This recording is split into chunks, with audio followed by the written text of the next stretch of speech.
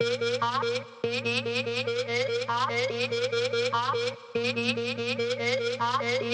you.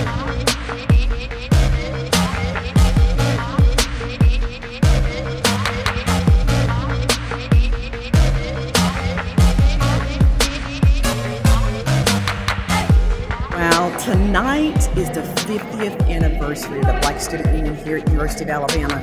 And this major event called Onyx has brought together people from all across the campus community to celebrate what they've done. Pretty much tonight we're hosting a multicultural um, event for our students to where we get to showcase all the different minority student organizations on campus. They're coming out, we put on a little show, everybody's gonna get together, we get a sense of community.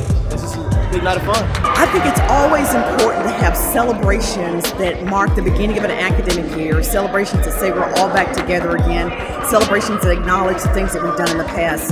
So they're absolutely important. The coolest thing about this event is everybody coming out and being together and being one. Just that, just that, that unity.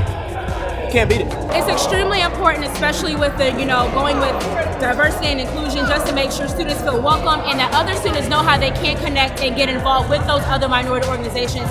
That's really the big goal um, university programs have in conjunction with Black Student Union.